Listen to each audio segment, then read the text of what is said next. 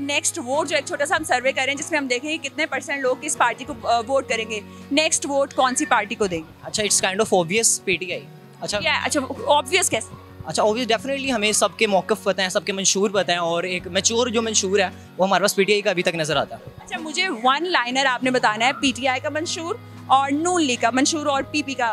अच्छा I guess के PTI की जो हाईलाइटेड टर्म है वो है कि they have better foreign ministry और उनके जो इंटरनेशनल रिलेशंस हैं, वो ज़्यादा बेहतर हैं and they know how to deal with this things और ये मुझे लगता है कि उनका एक हाईलाइटेड मंशूर है और नॉन लीग इंडस्ट्रियलिस्ट लोग हैं जो कि टैक्स वगैरह की चीज़ों को कंट्रोल करके हमारी इंडस्ट्रीज़ को खुश कर देते हैं, जिसकी वजह से जो कि एक लैक है ओवरऑल पाकिस्तान के लिए लैक है। फैसलाबाद में सुई गैस का बहरान पैदा हुआ है, जिससे इंडस्ट्री बंद होती हुई नज़र आ रही है। अब की हुकूमत में इस हवाले से क्या कहेंगे इंडस्ट्रियलिस्ट दूसरी इंडस्ट्री को क्यों नहीं संभाल पा अच्छा एग्जैक्ट मुझे इसका आइडिया नहीं है लेकिन संभाल नहीं पा रहे ये तो फिर नॉन लीग की एक लैक ऑफ़ कॉन्शियसनेस है उनके जो मंशूर में जो बार बार डिबेट करते रहे हैं वो पूरा नहीं कर पा रहे या फुलफिल नहीं कर पा रहे। तो that's a lack of P M L N और पीपी अच्छा पीपी के बारे में मैं ऐसा कुछ नहीं कहता लेकिन मुझे इतना पता है कि वो बहुत ही चलाक आदमी है। कौन? कौन स्पेसिफिक स्पेसिफिकली कहना तो नहीं बनता सबको पता है जरदारी साहब हमारे द ग्रेट क्योंकि वो दूसरों को आगे करके खुद पीछे प्ले करते हैं और बड़ा अच्छा प्ले करते हैं। अच्छा प्ले करते हैं। बहुत शुक्रिया आपके टाइम का।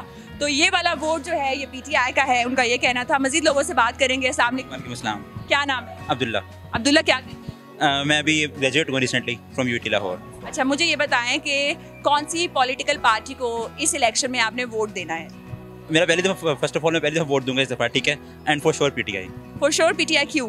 देखिए, उसने कॉम को एक चीज़ सिखाई है, बेसिक खुददारी, जो हमारी कॉम एक बेसिक एलिमेंट था, मिसिंग था पहले, ठीक है? इसके बाद यंगस्टर्स को ना एक तहरीक मिली है, अब हर कोई चाहता है कि हम खुददार बने।